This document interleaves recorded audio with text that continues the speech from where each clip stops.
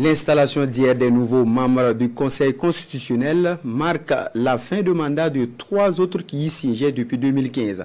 Pour leur contribution à la construction et à la consolidation du droit au Burkina, le Conseil constitutionnel leur a rendu hommage. Une reconnaissance faite au cours d'une cérémonie relatée par Daouda Ouattara et Moumouni Wanga. Ils ont servi la nation avec dévouement, abnégation et loyauté la nation burkinabé leur est reconnaissante. Elle le manifeste par cette cérémonie d'hommage pour service rendu. Un service rendu pendant neuf ans en qualité de membre du Conseil constitutionnel. Neuf longues années à contribuer à garantir l'état de droit, reconnu à Alidiata Dakouré Serré, Victor Kafando et Bouraïma Sissé par le Conseil constitutionnel. Habituellement, les anciens membres s'en vont euh, de manière très discrète. C'est la première fois donc qu'on organise une telle cérémonie d'hommage et nous en sommes très touchés.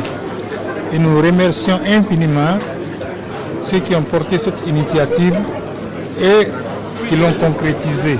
À travers cette cérémonie, il s'agit de rendre un hommage mérité à ces trois membres en fin de mandat pour leur contribution à la bonne marche du pays et donc à l'édification des institutions.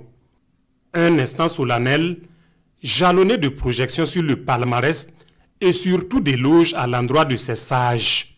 Nous voulons saisir cette opportunité pour leur traduire toute la reconnaissance de la nation burkinabé, eux qui ont su, euh, à des moments très critiques la vie de notre pays, euh, prendre des décisions sages qui ont concouru à maintenir la paix sociale qui ont concouru à maintenir nos institutions.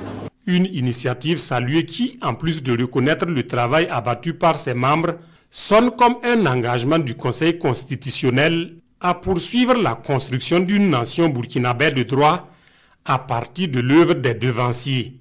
Les désormais anciens membres reçoivent ici des cadeaux du Conseil constitutionnel et de leur père, symbole de la solidarité et de la bonne collaboration qui a prévalu durant leur mandat.